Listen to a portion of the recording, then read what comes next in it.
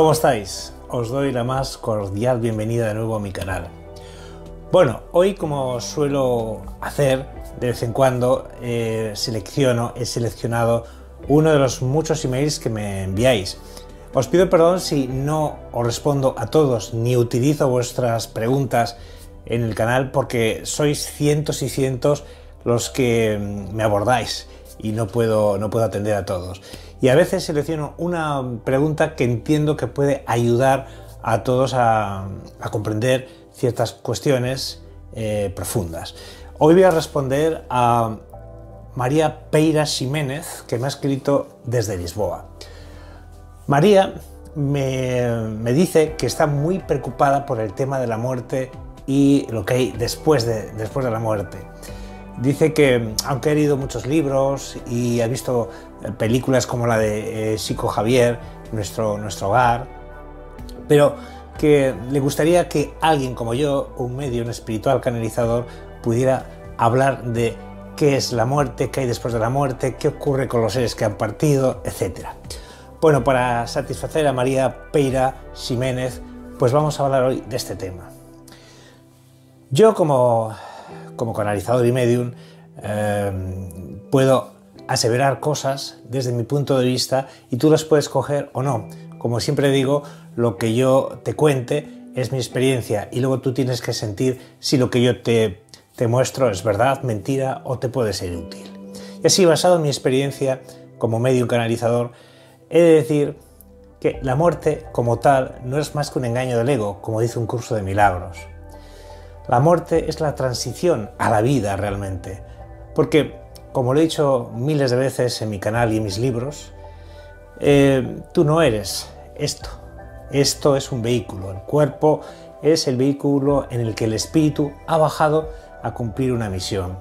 Un día, eh, en un momento de tu evolución espiritual, hablaste con, con tu Padre, con nuestro Padre, con Dios, y decidiste firmar un contrato para bajar a esta ciudad, a este país, a esta familia exacta donde tú estás, para cumplir alguna misión, como digo, que puede ser sanar algo de tu pasado en otras vidas o quizás ayudar en un proyecto eh, en, alguna parte del mundo.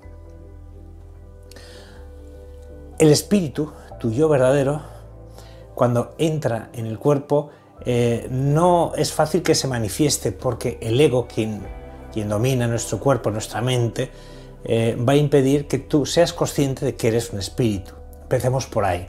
Por tanto, una de las cosas que hacemos y que hago yo con mis alumnos es hacerles conscientes de que para hablar y sentir eh, la vida con y desde el espíritu hay que acallar la voz del ego.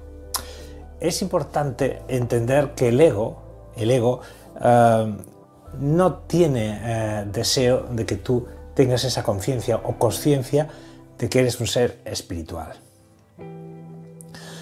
Una vez que, has cumplido tu misión, que has sanado lo que tenías que sanar, que has hecho lo que tenías que hacer aquí en la tierra, es entonces cuando eh, Dios, que sabe el tiempo exacto que tenías que estar, ni más ni menos, ni coronavirus, ni accidentes, ni nada, cuando alguien se va, eh, es porque ya ha llegado su momento. No hay esto de, es que se fue antes de tiempo. El tiempo lo marca Dios. Y cuando una persona fallece, eh, debemos entender que es porque Dios ha permitido eso. Si os contara yo la de veces que he estado a punto de perder la vida, no una ni dos ni tres, cientos de veces, y milagrosamente siempre, siempre me salvaba. ¿Por qué? Pues porque no era mi momento. Yo mismo he cogido el coronavirus eh, a finales, a principios de abril, eh, y pensaba que me iba a morir. Digo, igual es que ya acababa mi misión. No, lo que tenía que aprender es eh, lo que hay detrás del coronavirus realmente. La muerte llega, insisto, cuando ya has terminado tu misión. Tu misión puede que dure un día, sí, porque a veces me escribís, ¿cómo es posible que un niño muera y haya acabado su misión?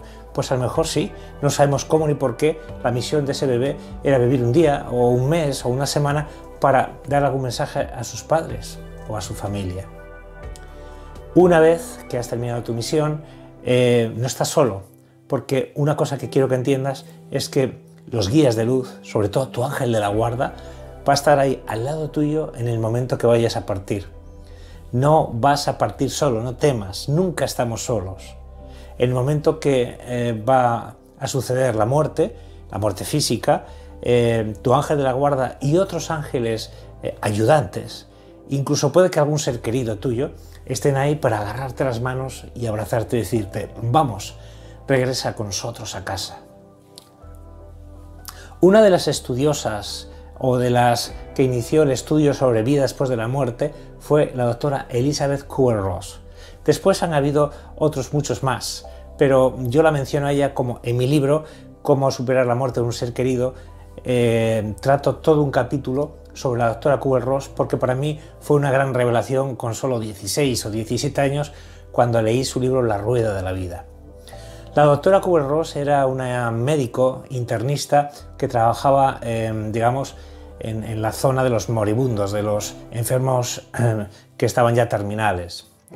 Y fue ella la que descubrió que después de muchos casos, no uno ni dos ni tres, cientos de casos, veía que ocurría lo mismo en muchas personas, que morían clínicamente, pero luego volvían a la vida.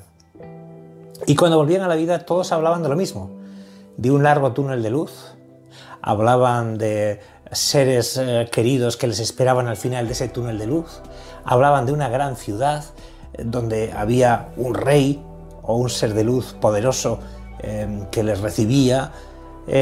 la doctora Kubler-Ross hizo un estudio durante más de 20 años con miles de, de personas de todas edades, sexos, religiones, creencias, incluso ateos, personas que no creían en Dios, contaban lo mismo cuando llegaba ese suceso de la muerte y luego regresaban. El túnel de luz, los familiares, los seres queridos que le esperaban, todos contaban lo mismo. Es verdad que a la doctora Kubler-Ross la pusieron de bruja y de loca, como a todos nos ponen, a todos los que hablamos de estas cosas, pero eh, el estudio de la, doctora, de la doctora está ahí. Una de las cosas que me llamó la atención al leer uno de sus libros fue que la doctora Kubler-Ross decía que cuando ella estaba eh, haciendo las prácticas de medicina, fueron a los campos de concentración de Auschwitz, eh, donde Hitler asesinó a tantas personas, y allí vio en los barracones donde estaban los niños que iban a ser asesinados, y vio cómo había eh, dibujado, cómo los niños dibujaban maripositas, polillas, y en ese momento la doctora Kubler-Ross no entendía qué significado podía tener esto. Eso se le quedó grabado ahí.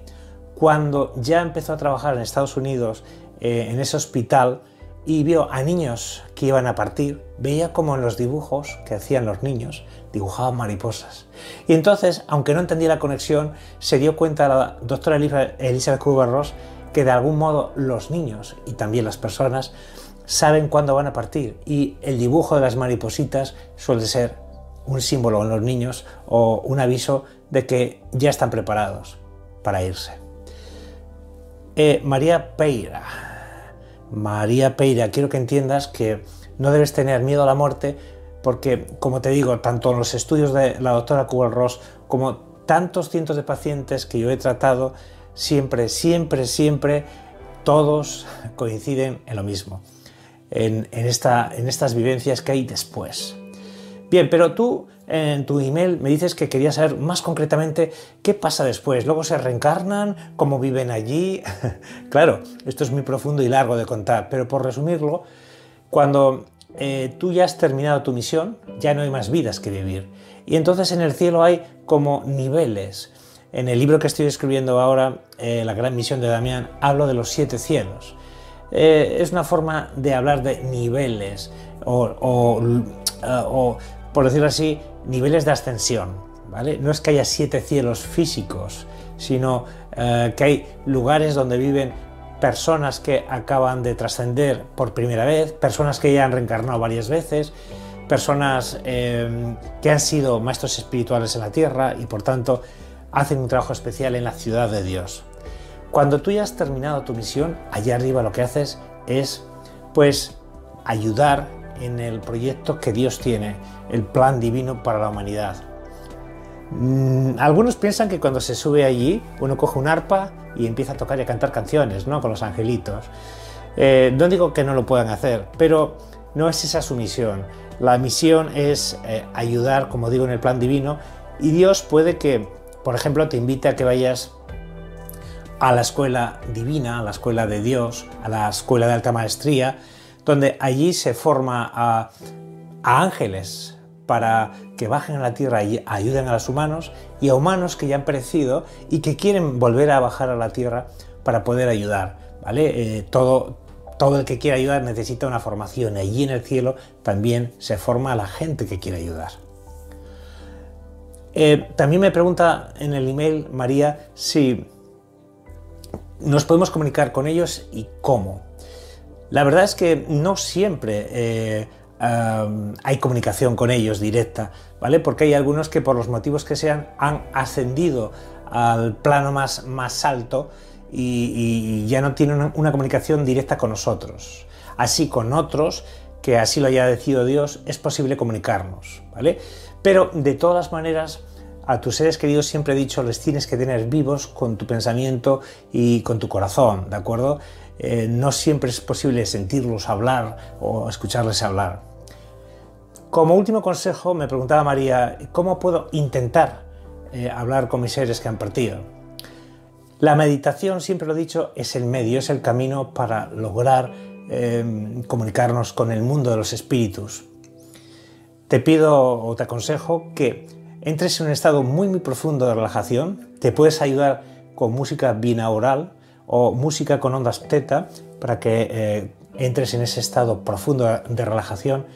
Y cuando eso ocurra, puedes visualizar cómo tu espíritu sale de tu cuerpo, subes al cielo, allí en la casa de Dios, y cómo entras allí en la casa de Dios a, tener contacto con tus seres queridos. ¿vale? Esta es una forma quizá más compleja que requiere eh, práctica. La más sencilla es en, ese estado de, profunda relajación cerrar los ojos, extender las manos y sentir a tu ser querido, ver su cara, su sonrisa, el brillo de sus ojos, sentir su energía, sentir su presencia. Cuando lo manifiestas así, eh, en la mayoría de los casos, ese ser querido se manifiesta ante ti.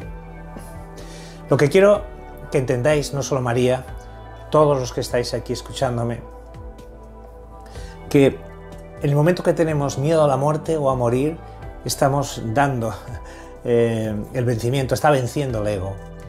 Eh, para que venza Dios y la verdad y la luz, tenemos que quitar ese miedo, dado que estamos aquí cumpliendo una misión, todos, absolutamente todos, y cuando la terminemos tenemos que estar felices, sonreír.